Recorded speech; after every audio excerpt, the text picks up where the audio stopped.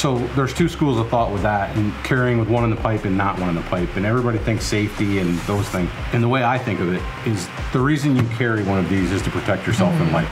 I have to draw this gun. I'm picking my shirt. I'm drawing. I'm coming out. I have to cycle it. Right. Is a high stress situation. I might miss one of those Yep. steps. And also, to cycle your gun and draw it, let's say it's a half a second. If someone's 10 feet from you, they can get to you within that half a second. right. So therefore, carrying one in the pipe is, is almost at the point where if you don't carry one in the pipe, I mean, there's a chance that it still doesn't help you. Sure. I mean, I get it.